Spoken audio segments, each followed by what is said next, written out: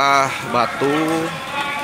Situasi gedung terkini DPR yang hancur diserang oleh mahasiswa dengan menggunakan batu.